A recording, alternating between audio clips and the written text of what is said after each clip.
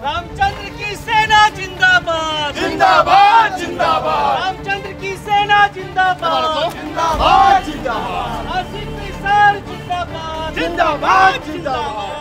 नमस्कार news for nation देख रहे हैं आप। मैं वो आपके साथ रश्मि। जेडीयू से इस्तीफा देने के बाद अब आरसीपी सिंह एक नई राह के तलाश में निकल चुके हैं। बता दें आपको कि इस वक्त जो तस्वीरें सामने आई है, वो सोनपुर की है, जहाँ पर आरसीपी सिंह का भव्य स्वागत किया जा रहा है। और इतना ही नहीं, आरसीपी सिंह जो है, वो अलग अलग जिलों में जाएँगे और खुद को मज़बूत करने की जो कवायद है, वो आरसीपी सिंह की तरफ़ से की जाएगी। इस वक्त जो जानकारी सामने आ रही है उसके मुताबिक आरसीपी सिंह आज गोपालगंज पहुँच रहे हैं और आज की रात आरसीपी सिंह जो है वो गोपालगंज में ही बिताएँगे। ऐसे में सबसे पहले आपको ये तस्वीरें दिखाते हैं कि किस प्रकार से ये भव्य स्वागत जो है वो आरसीपी सिंह का किया जा रहा है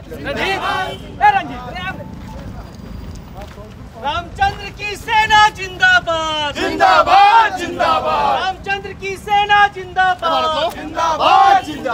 आसिफ सर जिंदाबाद जिंदाबाद जिंदाबाद आसिफ सर जिंदाबाद बता दें आपको कि आरसीपी सिंह जो है उन्होंने जेडीयू से इस्तीफा दे दिया। हालाँकि कई तरह के आरोप आरसीपी सिंह पर लगाए गए, जिसके बाद बेबाक अंदाज में आरसीपी सिंह ने बकायदा प्रेस कॉन्फ्रेंस भी किया। और ये भी आरसीपी सिंह की तरफ़ से कहा गया कि जो आरोप उन पर लगाए जा रहे हैं, वो बेबुनियाद है। उनके परिवार को बेवजह घसीटा जा रहा है, जिसके बाद अंतिम फैसला जो है, वो आरसीपी सिंह को लेना पड़ा। और आखिरकार जेडीयू से आरसीपी सिंह ने इस्तीफा दे दिया। बता दें आपको कि इस वक्त कई तरह की जो चर्चा है, वो हो रही है। कहा यह भी जा रहा है कि आरसीपी सिंह अपने लिए एक नई जो संगठन है, उसे भी बना सकते हैं या फिर ये भी हो सकता है कि आरसीपी सिंह जो है, वो बीजेपी के साथ चले जाए। बहरहाल, आगे आरसीपी सिंह क्या कदम उठाते हैं, ये तमाम चीज़ें जो हैं, वो आने वाले वक्त के साथ पता चलेंगी। लेकिन ये तस्वीरें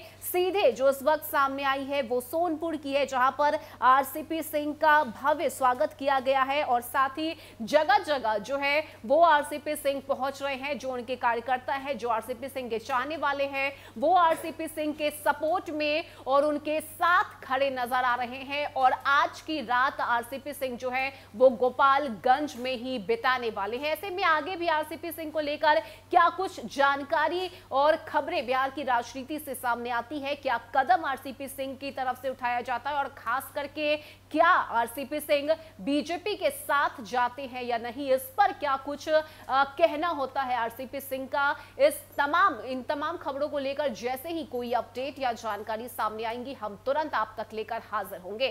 फ़िलहाल के इतना ही ज़्यादा अपडेट के लिए आप जुड़े रहिए न्यूज़ फॉर नेशन के साथ। नमस्कार।